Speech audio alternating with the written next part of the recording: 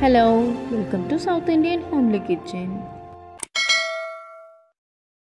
இன்றைக்கி நம்ம எக் வச்சு ஒரு சூப்பரான ரெசிபி பார்க்க போகிறோம் இன்றைக்கி ரொம்ப ஈஸியாகவும் டேஸ்டியாகவும் செய்யக்கூடிய ஸ்க்ராம்பிள் எக் மசாலா எப்படி செய்யலான்றது பார்க்க போகிறோம் வாங்க வீடியோக்குள்ளே போகலாம் இப்போது ஒரு பேனில் ஒரு மூணு டேபிள் ஸ்பூன் அளவுக்கு தேங்காய் எண்ணெய் சேர்த்திக்கலாம். தேங்காய் எண்ணெய் இல்லைன்னா ரிஃபைண்ட் ஆயில் கூட நீங்கள் சேர்த்திக்கோங்க. இதை நம்ம ஒரு மீடியம் ஃப்ளேமில் வச்சு நம்ம குக் பண்ணி எடுத்துக்கலாம். நல்லா இந்த அளவு ஹீட் ஆனதும் நான் இதில் ஒரு பத்து சின்ன வெங்காயம் எடுத்திருக்கேன். நீங்கள் சின்ன வெங்காயம் வேணாலும் எடுத்துக்கலாம் பெரிய வெங்காயம் வேணாலும் எடுத்துக்கலாம். ஆனால் சின்ன வெங்காயம் நீங்கள் சேர்க்கும் போது நல்லா டேஸ்ட்டாக இருக்கும். இதில் பத்து சின்ன வெங்காயத்தை நல்லா சாப் பண்ணி இதில் சேர்த்திக்கலாம். இது ஒரு லைட் ப்ரௌன் வர அளவுக்கு நம்ம நல்லா வதக்கி எடுத்துக்கலாம். பாருங்கள் நல்லா இந்த அளவுக்கு வதங்கினா போதும். இப்போது ஒரு பச்சை மிளகா நல்லா சாப் பண்ணி இதில் சேர்த்திக்கலாம். சேர்த்ததுக்கப்புறமா ஒரு டீஸ்பூன் அளவுக்கு இஞ்சி நல்லா கட் பண்ணி இதில் சேர்த்திக்கலாம். நல்லா சின்னதாக கட் பண்ணி சேர்த்திக்கோங்க. சேர்த்ததுக்கப்புறமா இதை நல்லா நம்ம ஒரு நிமிஷம் வரைக்கும் வதக்கி எடுத்துக்கலாம்.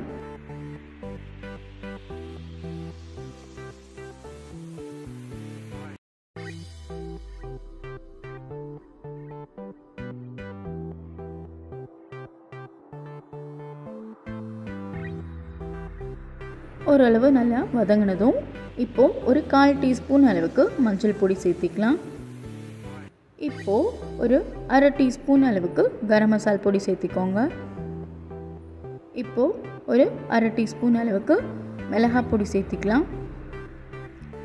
சேர்த்திட்டு இது நல்லா நம்ம இந்த ராஸ்மெல் போகிற அளவுக்கு நம்ம நல்லா வதக்கி எடுத்துக்கலாம்.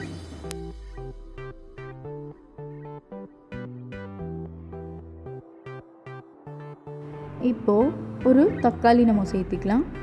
தக்காளி நல்லா சாப் பண்ணி இதில் சேர்த்திக்கோங்க.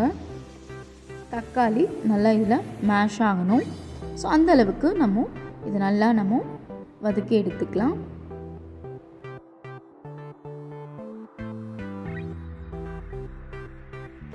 இப்போது ஒரு அரை டீஸ்பூன் அளவுக்கு உப்பு சேர்த்திக்கோங்க.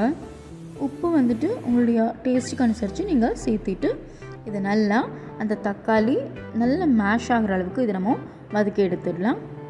ஸோ உப்பு சேர்க்கும்போது சீக்கிரமாக அது வதங்கிடும் ஸோ இந்த அளவு நல்லா வதங்கினதும் இப்போது ஒரு மூணு முட்டை எடுத்துக்கலாம். இந்த மூணு முட்டையை நம்ம இந்த மசாலாவில் சேர்த்துடலாம். சேர்த்ததுக்கப்புறமா ஒரு அரை டீஸ்பூன் அளவுக்கு பெப்பர் பொடி சேர்த்திக்கோங்க. மிளகு பொடி சேர்த்ததுக்கப்புறமா இதை நம்ம நல்லா எல்லா மசாலாவும் சேர்கிற மாதிரி இதை நம்ம மிக்ஸ் பண்ணி எடுத்துக்கலாம்.